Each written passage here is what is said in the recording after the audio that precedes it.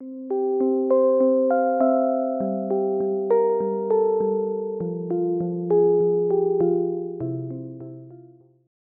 mí la innovación educativa y sobre todo eh, lo que es todo el trabajo que se ha ido haciendo desde hace pues, muchos años, que también se puede hacer, eh, nosotros lo hemos implementado pues, desde el año 92. ¿eh?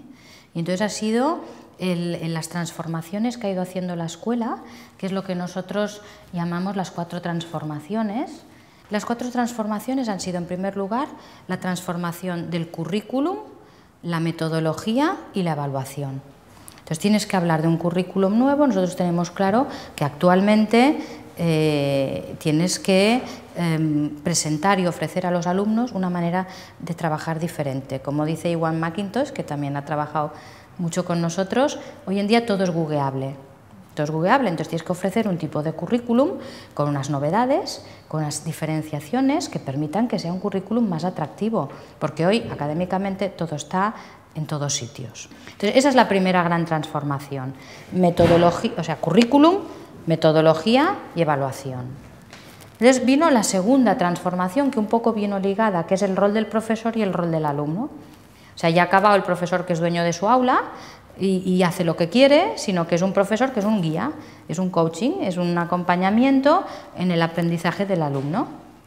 Le ayuda, le guía, le, motiva, le hace razonar, un planteamiento socrático, ¿no? le lleva a que aprenda del error.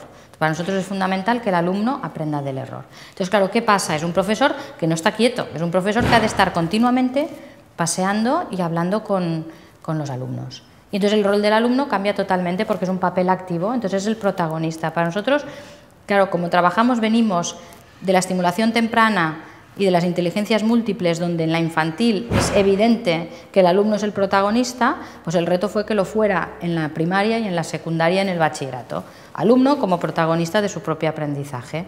La tercera fue, fue la organización, la organización del centro, que si no fuera por las leyes nosotros aún haríamos más cambios en la organización. Cuando tú trabajas por proyectos en el aula, tú no puedes tener horas mm, lectivas de una a una, porque cuando estás trabajando en un proyecto, cuando los alumnos están metidos, si estás haciendo un design thinking, cuando estás haciendo la inmersión, que es una de las partes más interesantes, necesitas tener más de una hora o de dos. Entonces ahí has de cambiar. Entonces ahí te viene todo el cambio organizativo, pues a nivel de, pues de horario, de que nos encantaría pues que a lo mejor unos profesores pudieran estar un trimestre solamente preparando proyectos y al siguiente trimestre implementando, ¿no? un tipo de organización distinta que hacemos en la medida de las posibilidades. Y entonces finalmente el otro cambio fueron los espacios. necesitas unos espacios que ya no estamos hablando, pues esta aula decimonónica de la revolución industrial con todos sentados así, para nosotros es fundamental que los niños estén trabajando en, en, cooperativo, por tanto cambia absolutamente un espacio abierto, un espacio donde puedas tener diferentes zonas, que tengas una zona de cueva que le llamamos donde puedas tener una reflexión, una zona de fuego de campamento donde puedas compartir.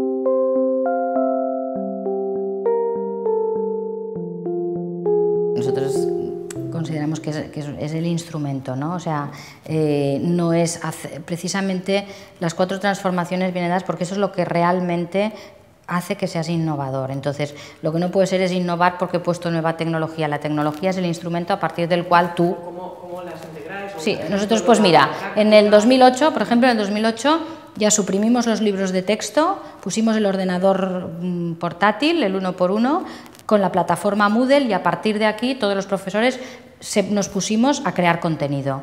Entonces, esa, esa es fundamental. Después, a partir de aquí ya las redes sociales importantísimas y después a partir de aquí ya pues los iPads. Este año nosotros hemos puesto los iPads desde cuarto de primaria individuales hasta primero de la ESO. Entonces, el trabajar hoy en día pues, con Google Drive, con documentos compartidos, con bueno, pues, el que el alumno no, descartamos, ¿no? Aún, tenemos, aquí decir, el móvil ha de estar en la taquilla, pero oye, es absurdo. O sea, la tecnología está ahí para utilizarla y sobre todo para enseñar al alumno a utilizarla bien.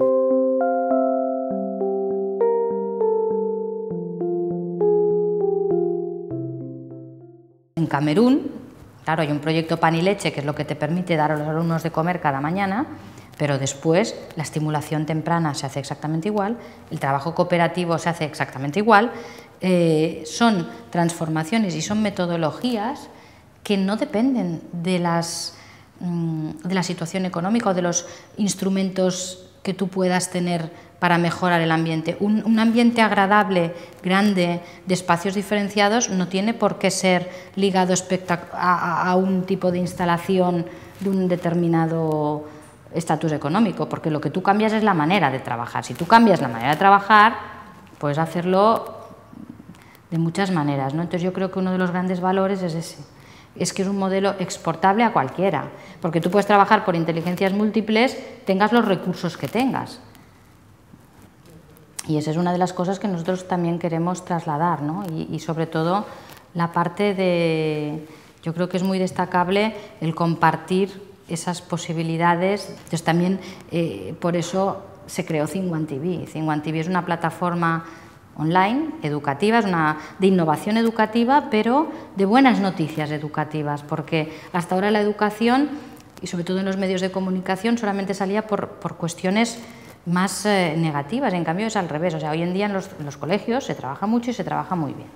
Entonces hay que comunicarlo y hay que compartirlo. ¿no?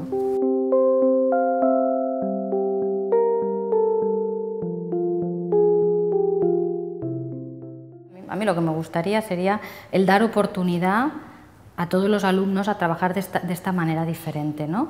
Eh, y a trabajar sobre todo, creemos que la educación tiene que tener la finalidad de crear un mundo mejor. Entonces, claro, ¿qué es lo que a mí me gustaría? Pues que todos estos instrumentos que nosotros les podemos dar ayuden a crear un alumno consciente, responsable, que trabaje el good work. Eso es lo que nos gustaría, ¿no? que hagas un alumno que sea capaz, ante los retos que hay ahora, que de la globalización, de, estas nuevas tecnologías, lo que nos gustaría es que nosotros estamos intentando hacer un alumno flexible, que sea capaz de adaptarse a todo y que busque soluciones a los problemas y que aporte mejoras a su entorno, más cercano y a, su entorno más lejano, ¿no? aunque parezca un tópico, el actuar localmente para generar sinergias positivas globalmente es una realidad hoy en día. ¿no? Entonces, ¿qué es lo que nos gustaría? Pues poder dar esos instrumentos para que ese alumno o alumna pues sea capaz de contribuir a un mundo mejor. O sea, eso es el objetivo.